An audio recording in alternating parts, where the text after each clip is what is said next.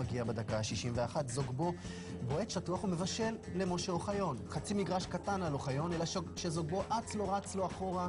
רגע, מקרייב, לא אוף-סייד של מקרייב, ואנחנו לא יכולים אה, לפסוק חד משמעית. איפה בוחבוט כשצריך אותו?